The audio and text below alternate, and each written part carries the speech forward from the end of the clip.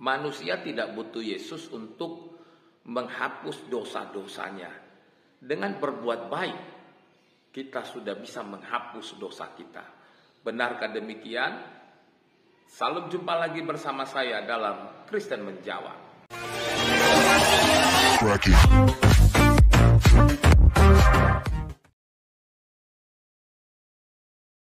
Ketiga orang ini, uh, ustadz-ustadz ini, mereka sedang membaca satu bagian firman Tuhan dari Yesaya 1. Tepatnya itu yang diambil itu adalah Yesaya 1 ayat yang ke-16.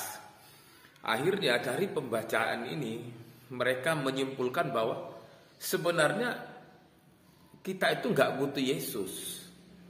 Orang Kristen itu nggak butuh Yesus. Manusia itu nggak butuh Yesus untuk menghapus dosa cukup dengan berbuat baik. Dan itu dilakukan oleh agama yang bukan agama Kristen juga. Jadi apa yang diyakini oleh orang Kristen itu bahwa keselamatan itu melalui Yesus percaya kepada Yesus seolah-olah itu tidak benar. Terlebih dahulu kita menyaksikan tayangan video berikut ini. Kalau umat Kristen mempunyai perspektif itu kan, syaratnya apa supaya mereka masuk surga? Ah. Atau masuk dalam kerajaan Allah? Yeah. Pertama kan mengakui Yesus sebagai Tuhan dan Juru Selamat, oke kan? Dengan begitu kan mereka bilang mereka pasti masuk surga, iya. ya kan? Tapi saya mau membukakan lagi di Yesaya pasal 1. Saya ambil dari ayat ke-16 sampai 18 ya. Perikopnya adalah bertobat lebih baik dari mempersembahkan korban. Wow. Ini perikopnya loh. Bertobat lebih baik daripada mempersembahkan korban. Korban. Ya bacanya. Ya. Ayat 16. Basuhlah, bersihkanlah dirimu, jauhkanlah perbuatan-perbuatanmu yang jahat dari depan mataku. Mataku ini artinya nama Tuhan. Mata kukunya ini kata-kata Tuhan nih. Iya. Eh, berhentilah berbuat jahat. Belajarlah berbuat baik, usahakanlah keadilan, kendalikanlah orang kejam, belalah hak anak-anak yatim, perjuangkanlah perkara janda-janda. Kata seru nih. Iya. Eh, kita Islam gitu nggak? Kita ini sebagai Muslim nih, begitu nggak? Iya. Benar? Iya. Dengan bertobat, insya Allah, Allah ampuni kita iya, dosa kita kan? Iya. Dengan hal-hal seperti ini. Kemudian, ayat 18 nih, perhatikan ya. Marilah, baiklah kita berperkara. Hmm. Ya, tanda seru nih. Firman Tuhan. Tuhannya pakai huruf besar semua lagi. Iya, iya. Ya. Fafe ini ya ngomong. Ya, kata katanya nih ya. ya. Sekalipun dosamu merah seperti kirmizi, ah. akan menjadi putih seperti salju. Sekalipun berwarna merah seperti kain kesumba, akan menjadi putih seperti bulu domba. Ah. Oke. Kalau buat orang awam nih ya, orang awam aja lah. Dosanya Bang Aristo merah seperti kirmizi, iya. atau merah seperti kain kesumba, iya. bisa menjadi putih seperti salju, iya. atau putih seperti bulu domba. Hmm. Artinya, itu kalau begitu, masih butuh nggak orang yang harus mati di atas kayu salib? Nggak butuh. Hah? Nggak butuh. Nah, terus ini, ngomong gimana? Waduh. Ayo. Mari kita lihat dulu Yesaya 1 ayat 16. Kita baca bersama-sama ya. Basuhlah dan bersihkanlah dirimu, jauhkanlah perbuatan-perbuatanmu yang jahat dari depan mataku, berhentilah berbuat jahat. Ayat 17, belajarlah berbuat baik, usahakanlah keadilan, kendalikanlah orang kejam, belalah hak anak-anak yatim, perjuangkanlah perkara janda-janda.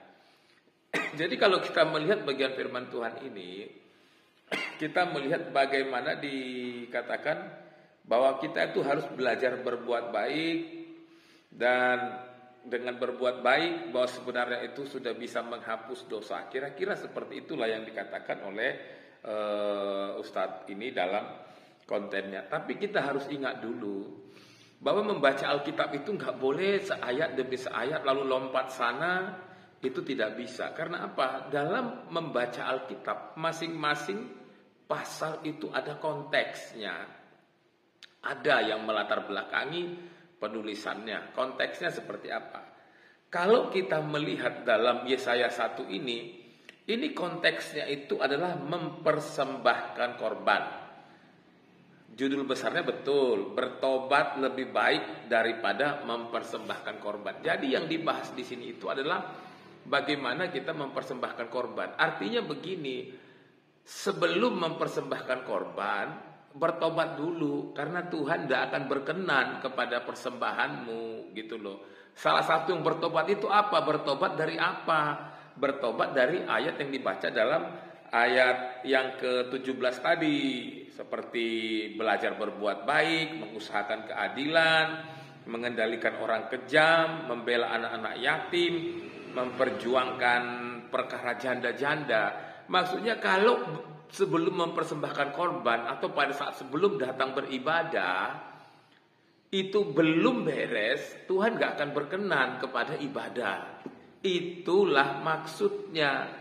Artinya bagian firman Tuhan ini tidak ada kaitannya dengan keselamatan di dalam diri Yesus Kristus. Oke. Kalau begitu, ya apa yang dikatakan dalam ayat 16 ini, eh, ayat 17 ini seperti belajar berbuat baik, mengusahakan keadilan, eh, mengendalikan orang kejam, membela anak-anak yatim, memperjuangkan perkara janda-janda, ini kan yang disebut dengan perbuatan baik. Lalu yang menjadi pertanyaannya, apakah kaitan perbuatan baik dengan iman kepada Yesus Kristus? Perbuatan baik itu adalah buah dari orang yang percaya kepada Yesus Kristus. Artinya apa?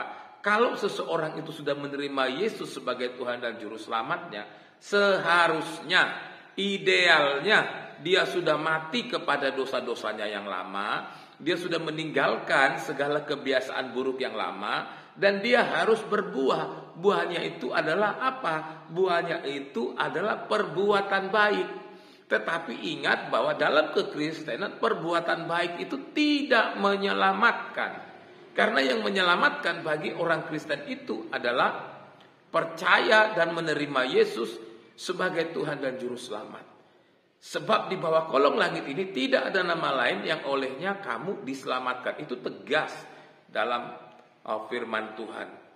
Lalu kemudian ketika dikatakan sekalipun dosamu merah seperti karmizi dan akan menjadi putih. Itu yang dikatakan tadi. Betul. Yaitu memang yang berhak mengampuni dosa itu adalah Allah itu betul. Yang berhak mengampuni dosa itu adalah Allah. Manusia tidak bisa mempengaruhi Allah, kan begitu. Manusia nggak bisa. Karena manusia tidak bisa mempengaruhi Allah, manusia tidak bisa menjogok Allah. Maka perbuatan baik apa pun yang kita lakukan itu nggak akan bisa menghapus dosa. Karena apa?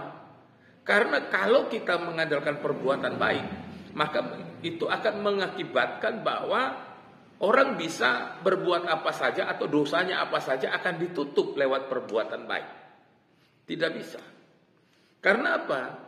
Bicara sorga itu berarti, bicara keselamatan itu berarti adalah bagaimana kita mati terhadap dosa-dosa kita. Kalau kita sudah mati kepada dosa kita, bagaimana caranya kita mematikan? dosa kita, yaitu menerima Yesus sebagai Tuhan dan Juru Selamat. Ini kuncinya. Jadi perbuatan baik itu adalah buah dari orang menerima Yesus sebagai Tuhan dan Juru Selamat. Tapi bukan sebagai penghapus dosa. Jadi yang bisa menghapus dosa itu adalah hanya Allah sendiri. Yang karena Allah tahu bahwa manusia tidak bisa, untuk menghapus dosanya, maka Allah memberikan jalan lewat dirinya sendiri, maka Allah menjelma menjadi manusia dalam diri Yesus Kristus. Mengapa Allah harus menunjukkan diri kepada manusia? Supaya manusia itu tahu bagaimana yang sebenarnya dan Allah sedang menunjukkan itu lewat dirinya dalam diri Yesus Kristus. Itulah sebabnya syaratnya adalah setiap orang yang percaya itu yang tidak binasa. Setiap orang yang percaya itu yang masuk sorga. Jadi perbuatan baik bagi Kristen itu tidak menyelamatkan, tapi menerima Yesus sebagai Tuhan dan Juru Selamat itu yang membawa kita selamat dan masuk surga. Salam Tuhan Yesus memberkati.